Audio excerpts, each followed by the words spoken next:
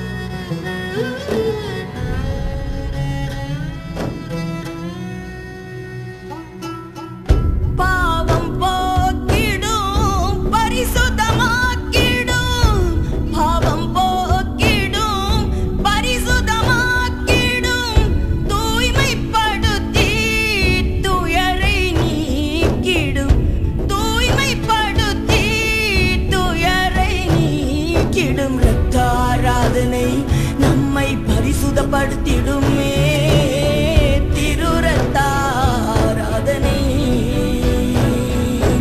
ரத்தாராதனை நம்மை பரிசுதப்படுத்திடுமே திருரத்தாராதனை ரத்தத்தை திருரத்தத்தை ரத்தத்தை எசுரத்தத்தை ரத்தத்தை திருரத்தத்தை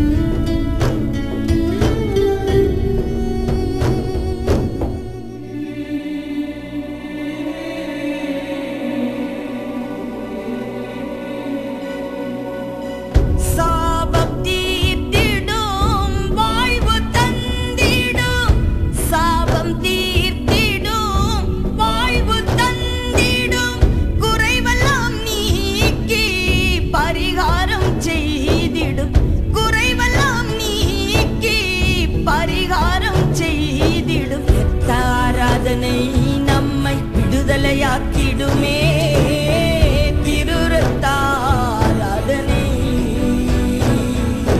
ரத்தாராதனை நம்மை விடுதலையாக்கிடுமே.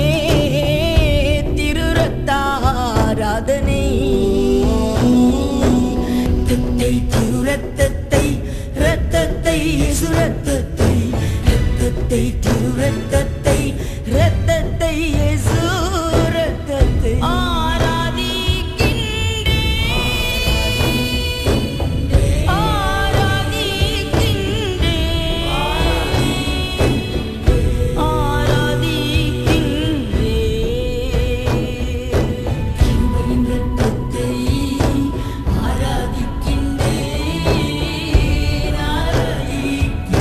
குமாரனை காலின் கீழ் மிதித்து தன்னை பரிசுத்தம் செய்த உடன்படிக்கையின் இரத்தத்தை அசுத்தம் என்று எண்ணி கிருபையின் ஆவியை நிந்திக்கிறவன் எவ்வளவு கொடிதான ஆக்கினைக்கு பாத்திரவானாயிருப்பான் என்பதை யோசித்து பாருங்கள். உனக்காக எனக்காக சிந்தப்பட்ட அந்த அருமை ரட்சகரின் திரு ரத்தத்தின் மறைவிலே நமக்கு அடைக்கலம் உண்டு விடுதலை உண்டு ஆறுதல் உண்டு சமாதானம் உண்டு சந்தோஷம் உண்டு இளைப்பாறுதல் உண்டு.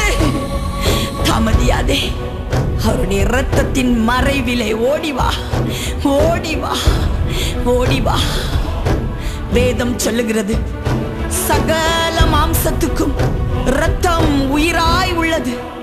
ரத்தம் ஜீவனுக்கு சமானமானது. ஆதலால் தான் ஆத்மாவுக்காக பாவ நிவர்த்தி செய்யும்படி தன்னுடைய ஜீவனுள்ள ரத்தத்தை ஊற்றி கொடுத்தார்.